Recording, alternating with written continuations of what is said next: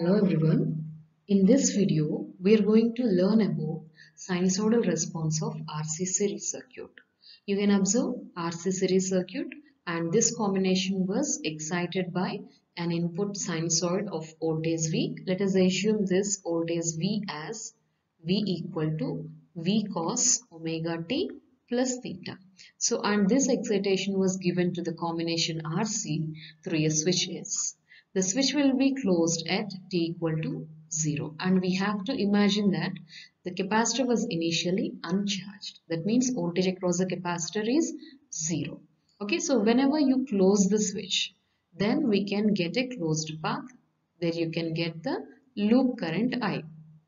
So I already told you in my previous videos also that this current I is I of t. It's a function of time t. So instead of I of t, I'm writing I. So please make a note of it. Okay, so now let us apply, let us apply KVL. Okay, so firstly we are writing the voltage drop across the resistor plus voltage drop across the capacitor equal to input voltage V. So now what is VR? VR is R into I plus what is the voltage across the capacitor?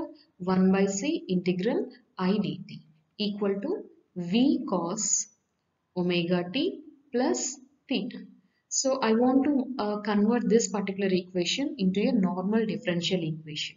So for that I'm going to uh, differentiate this entire equation with respect to t. So if I do then I'll be getting r into di by dt plus 1 by c into differential of integral of i dt will be i only is equal to v. For sine you'll be getting minus uh, sorry for cos you'll be getting minus sign and for this portion also you're going to uh, apply the differentiation. So directly i'm writing here v omega sine omega t plus theta.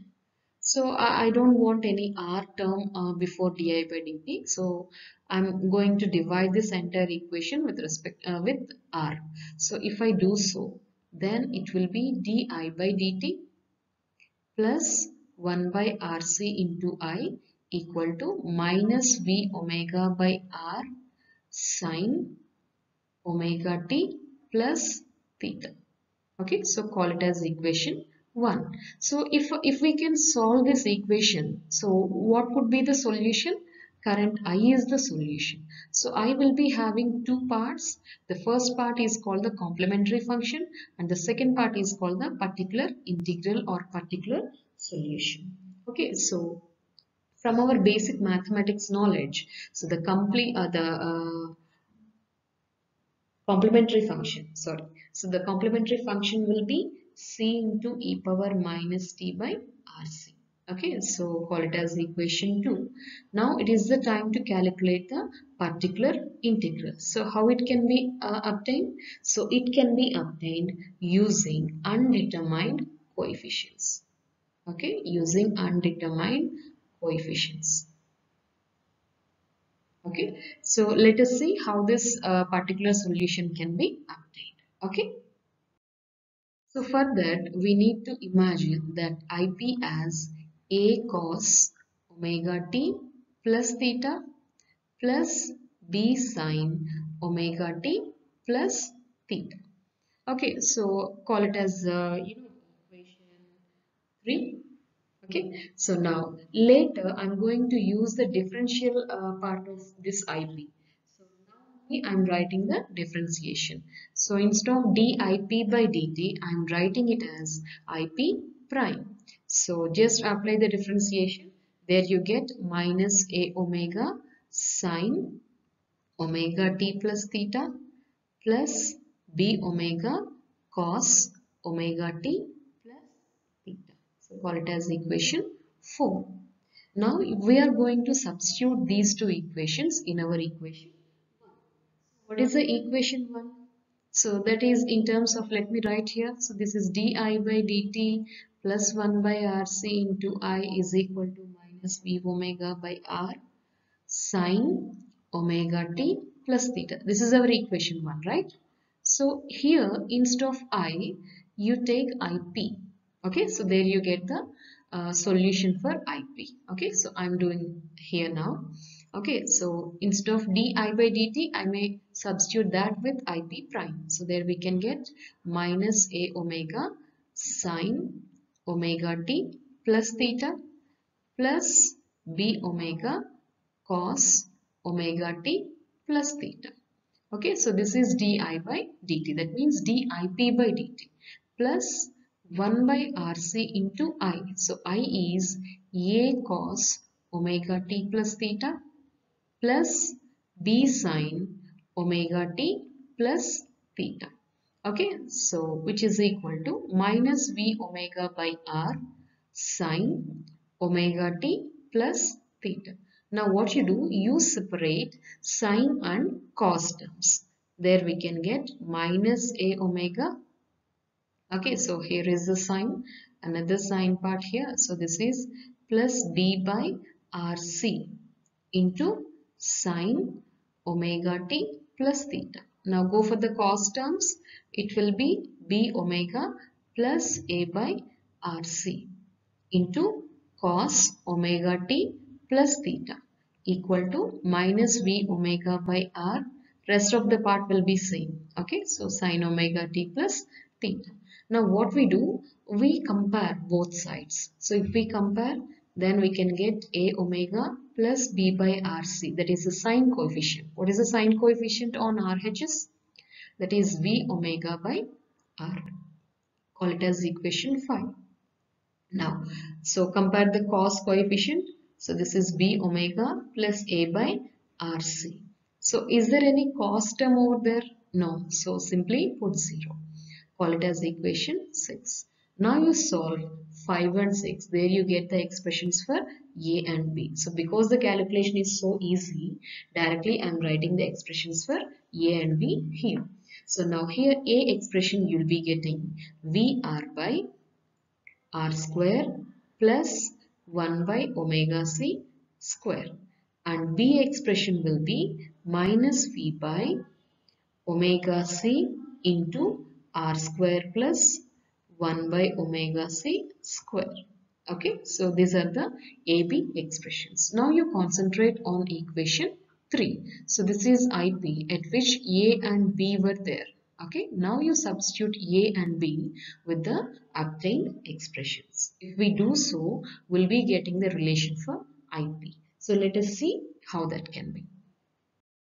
So now IP equal to A that is VR by R square plus 1 by omega c square. Okay, so A cos omega t plus theta plus b. So b expression is minus no. So plus of minus it will be minus only. So directly I am writing here minus v by omega c into r square plus 1 by omega c square. Okay that is b. b sine omega t plus theta. So this is our IP okay so if I don't want to uh, write this entire kind of relation I can convert this equation into a compact size by assuming m cos phi as a that is v r by r square plus 1 by omega c square and m sin phi as v by omega c into r square plus 1 by omega c square. Okay, so if I can calculate m1 phi, then I can convert this IP into the small compact equation form. Okay, so let me calculate the phi first. So as we already know, sine by cos will give you tan. So that's why I'm considering the same only.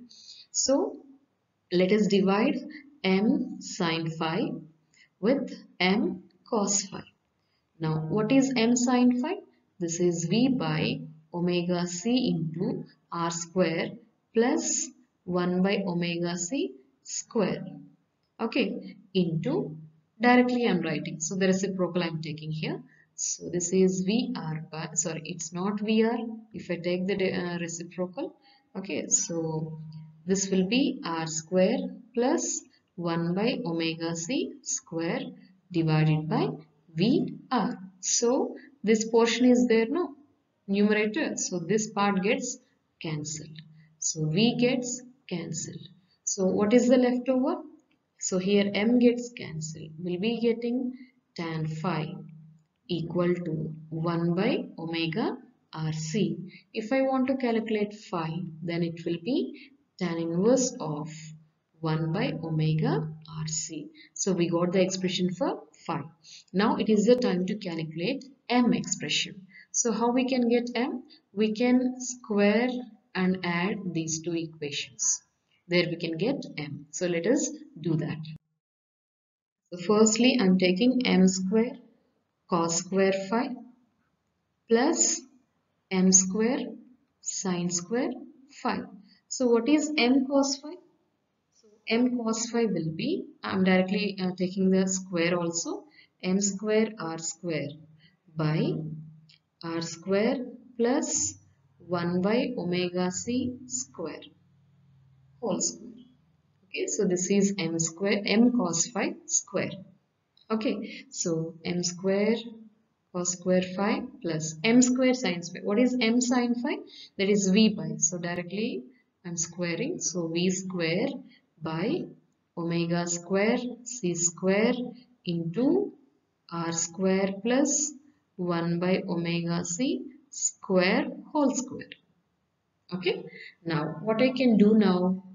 So I can take this portion that is, uh, you know, so here I'll write. So okay.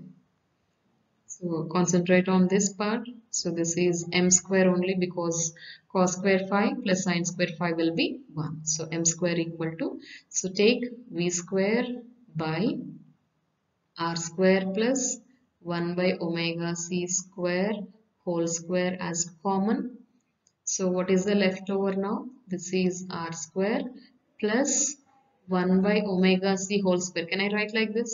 Yes. Okay so one of the terms gets cancelled here. So now uh, what is m? So if I want m I have to apply the square root. Okay so there we can get uh, you don't find any square here. So this will be v by root of r square plus 1 by omega c square. So this is the expression for m. So now how we can write ip that is m. That means v by root of r square plus 1 by omega c square. Okay? So this is uh, m. Cos omega t plus theta plus tan inverse of 1 by omega rc clear okay so like this we can write the relation for ip so we already discussed that the complete solution for the current I is, what is the complete solution for the current I? So I is complementary function plus particular solution. So we already got the relations for IC and IP. So let us solve the complete solution.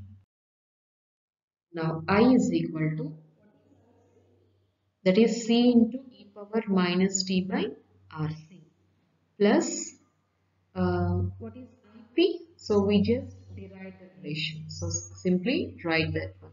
V by root of R square plus 1 by omega C square into cos omega t plus theta plus tan inverse of 1 by omega RC.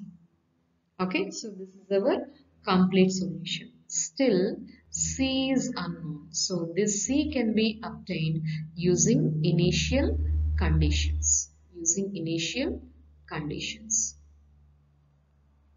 Okay, so uh, you imagine the circuit. So this is our supply voltage.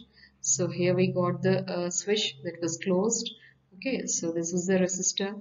Uh, what is the behavior of the capacitor?